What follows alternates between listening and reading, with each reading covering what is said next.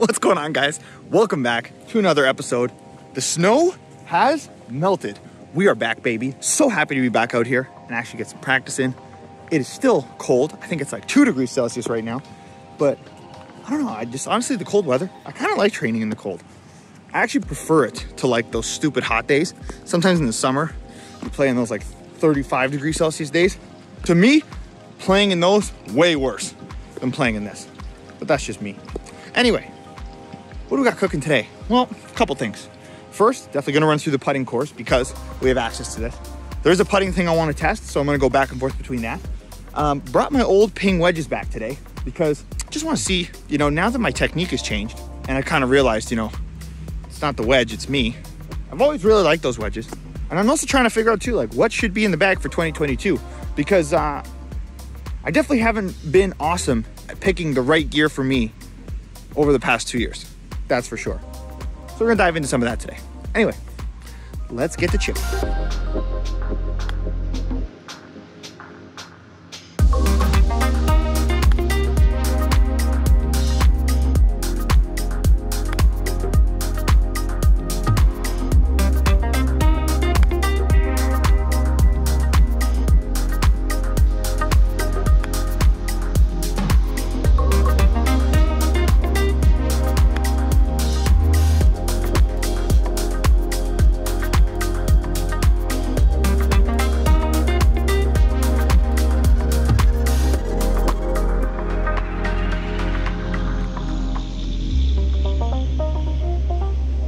It's funny, after hitting a bunch of chips with those, I love those ping wedges.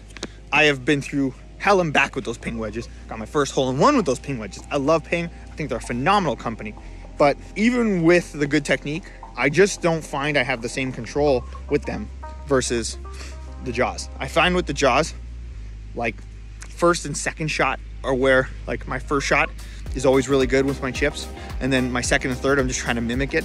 Whereas I found with those pings, I was trying to get it by the third shot. And you saw in some of those clips, I was just trying to figure it out by the third shot. So I don't know, you know, I think I'm just kind of debating, you know, the route I want to take here. Uh, is, is there value in having a totally mixed bag? Or is it better to stick with one manufacturer? I've kind of tried both paths. I'm still on the fence. Sometimes it's nice to be in one ecosystem and not think about it. But then I think there's also value in having options to explore whatever you want, you know? Um, because certain manufacturers could be pushing the boundaries in certain areas, right? Like if you saw Bryson's video, uh, he testing the new prototype Cobra drivers. He's got a new driver coming specifically built for high speed players, right? For someone like myself who's trying to push speed, you know, is the Cobra driver a better option? But if you're committed to one manufacturer, now you can't try that product, but you might like everything else that you have already. So, anyway, just balancing act. Um, one thing I want to test, one other thing we're going to test right now on the putting green. Obviously, we have my putter, but we got the spider back today too. I don't know, guys. My best putting performance I've ever had. It's my Autoflex course vlog. I should have shot like eight or nine under that day. I made stupid bogeys as a result of like the rain and having to rush through a sixsome. Like I was putting lights out with that putter. And then I think I screwed it up by putting a stability shaft in it. Because that shaft, the normal regular shaft in that putter with this stock, I was becoming really good. And I think I blew it by trying to make it better. Anyway, whatever. We're gonna do the putting course today. I'm gonna test those two putters against each other, see if it gives us a more definitive result.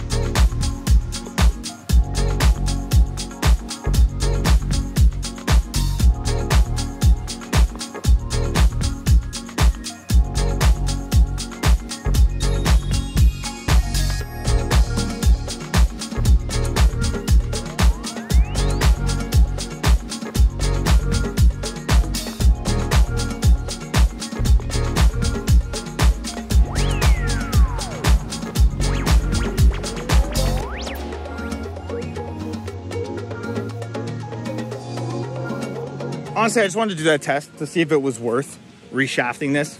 Because again, I putted my best with this when it was just a normal shaft. I don't know if this is the play. Um, because it's honestly, I never putted as good with this after I put the stability in it. And that's what kind of led me down the path to then going to the blade in the first place. I just wanted to see if it was worth bringing this back to its original kind of stock setting. And I think it is worth investigating. Now we're gonna try out heads up putting. This is from a guy named Sasho Mackenzie. He's the founder of the Stack System. He did some studies off this. I'm gonna link below to his talk about heads up putting. But essentially what it is, is instead of looking at the ball while you hit it, you look at the target. And so we're gonna test that if we go heads up.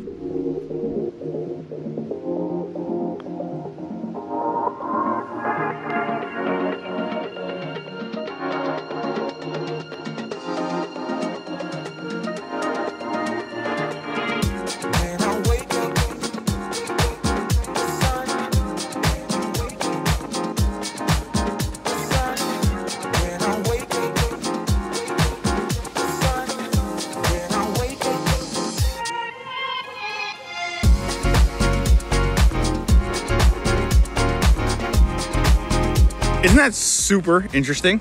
So, heads up putting in a nutshell, right, is essentially looking at where you want the ball to go and then just doing it, right? Because, you know, where I heard Sasho explain it, and this kind of made the most sense to me, is if you're gonna shoot a basketball, right? If I told you to shoot a basketball right now and you had the ball, would you look at the ball?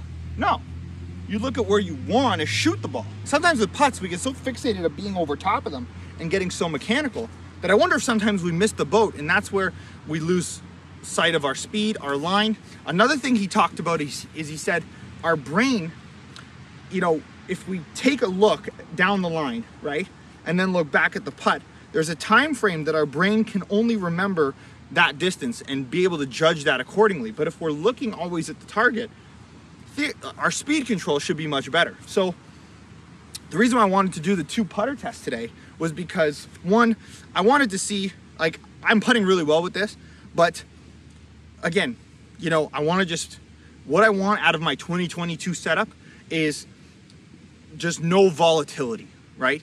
I want to make sure that I don't, that on my bad days, I'm still doing what I need to do, and on my great days, I can take advantage of those great days. And I don't want anything in my bag that puts too much pressure on having to be perfect. And so I just want worry sometimes with the blade that it requires me to be a little more perfect. And so I think with today's test, it's worth putting the other shaft in that putter and then just seeing what happens. But heads up is something too that I thought, okay, so now, now that we're getting good with putting, now that we've got our stroke and our setup down to a better spot, heads up I wanted to see if I could put it in play to even dial my speed in, dial my start lines, make it even better because it just I'm just fascinated by it. So uh, definitely something I'm going to continue to further explore. But that was a cool test. I got one more putt in with the heads up with the blade, so that was interesting because would I, you know, one more putt around. That's worth it. That's worth the price of admission. And then I can't really test it today because of the snow and the greens are so slow but it would be interesting to also do a lag putt test of head down versus heads up because I think that's where heads up really uh, earns its money because being able to judge a longer distance and lag it closer, that could be much more beneficial. What a difference a day makes. Look at this. From how snowy it was yesterday to now. This is wild.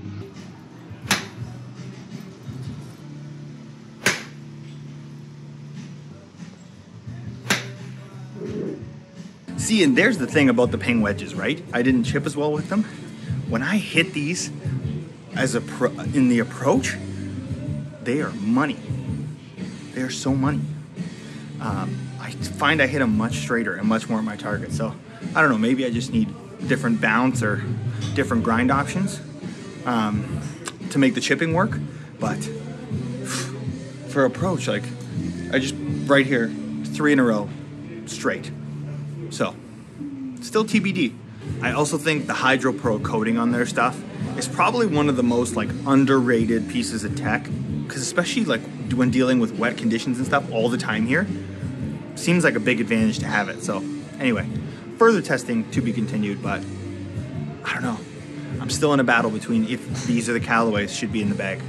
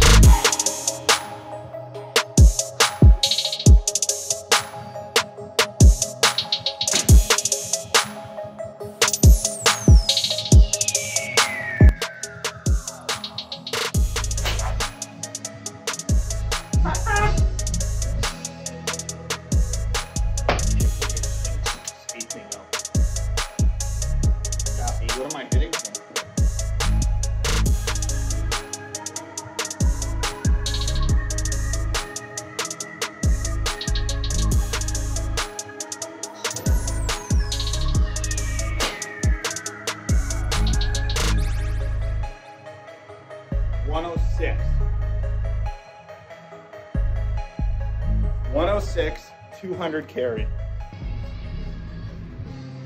Guys, I am on one tonight. Oh my goodness. I am hitting the ball. This is the best I've ever hit the golf ball. This is literally the best I've ever hit the golf ball. I I have never. Oh my goodness. You know what's funny? So I saw some comments on yesterday's vlog um, complimenting my short backswing. And I thought that was, uh, and I appreciate those comments, but I thought that was funny because the reason why I have a short backswing is because I have so much PTSD from going through this swing change, from absolutely shanking it, that I haven't turned properly in months, right? So now that I've been working up to this point and working on these fundamentals, I can finally turn. And today I decided, because of the short swing comments, I thought, you know what? Let's go full swing and let's just see what happens. Oh my goodness, guys! I just absolutely destroyed a seven that seven iron. Okay, 106 swing speed with a seven iron, 199 carry, 134 ball speed. I don't even know what the ball speed is supposed to be on a seven iron. Oh my goodness! And that, like I wasn't ripping. I was just turning properly and rotating. Wow. Okay, let's just keep hitting.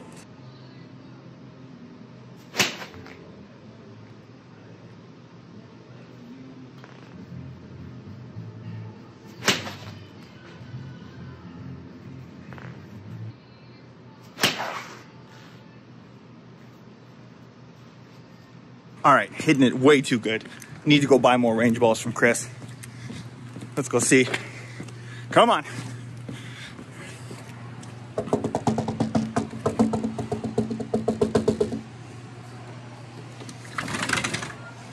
I'm striping it. Come another bucket. How many? Uh, just 45. There you go, sir. Thank you, Chris. Have fun. Go stripe some more. I will.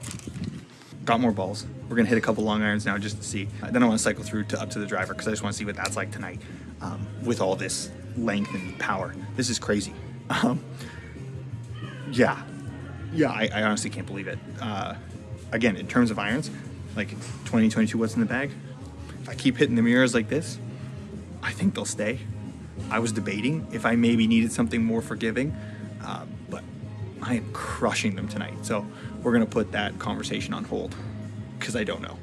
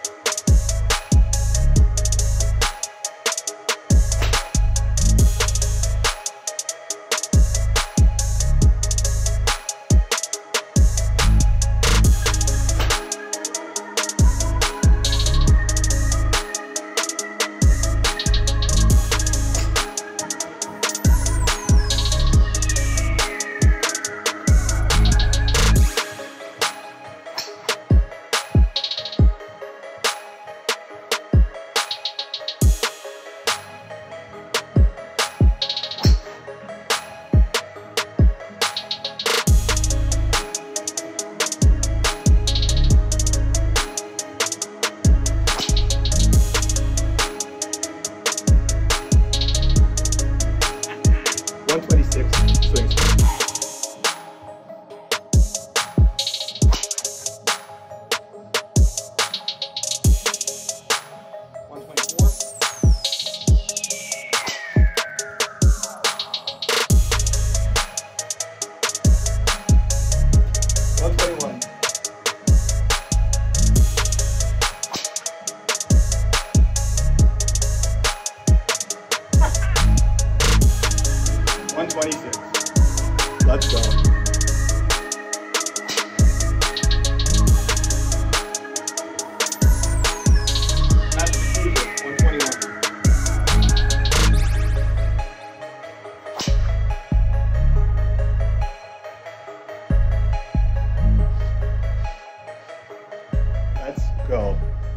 Let's go.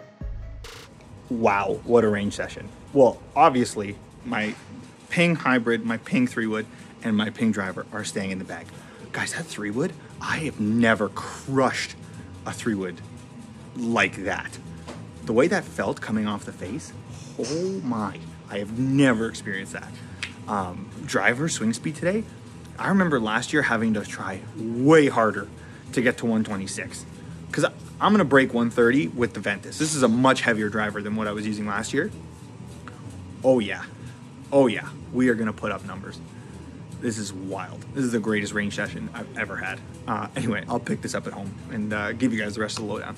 All right, tonight's bulk meal, we've got two burgers. My girlfriend's only having one, but I got two burgers, fries. Probably should eat some vegetables at some point, but uh, this is what we're rolling with.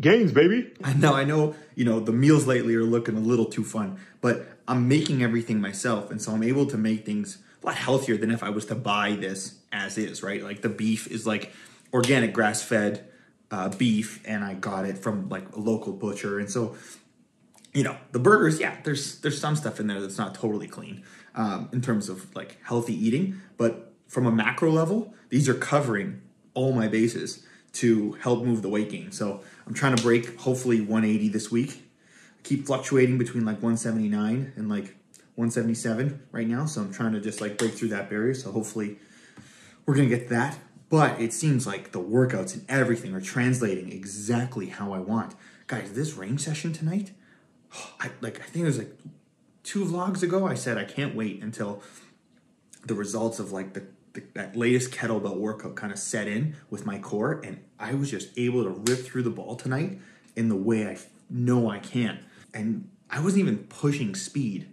Like that's me just swinging, but like I'm not swinging out of my shoes yet. Like I'm not pushing speed. I'm not even trying to hit those numbers. That's why I was so shocked that I hit 126 with the driver and hit 106 with the seven iron. Like I wasn't even trying to push speed. I was trying last year way harder than I am now to push speed, and I wasn't even putting up these numbers this early. So this is like an unreal sign of progress when it comes to conditioning and and just working on the swing and how the body is reacting. I could not be happier to be seven weeks into this and seeing results like this. And then to cap off like the other big things, obviously, you know, putting together my bag for 2022.